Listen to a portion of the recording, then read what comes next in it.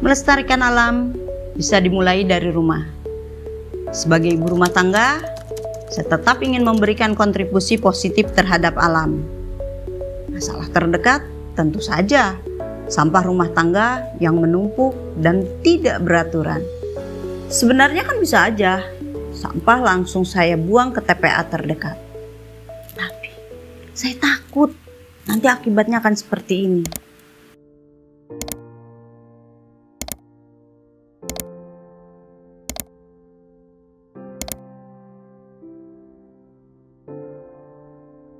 Ih, ngeri ya.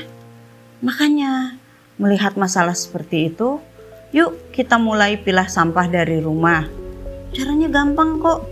Kumpulkan, pilah, manfaatkan. Kumpulkan sampahmu. Jangan buang di mana saja. Lalu, pilah sampah sesuai jenisnya sampah organik, anorganik, residu, atau sampah berbahaya dan beracun. Kemudian simpan sampah dalam wadah yang berbeda warna. Hijau untuk sampah organik, kuning untuk sampah anorganik, dan merah untuk residu atau sampah B3. Selanjutnya, kita bisa manfaatkan sampah tersebut menjadi produk yang berguna atau kita serahkan ke bank sampah yang terdekat dari rumah kita.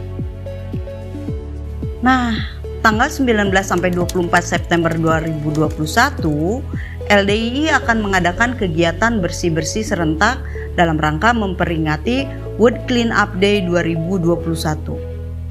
Ikutan yuk menjadi bagian dari kami 13 juta. Pilah sampah dari rumah.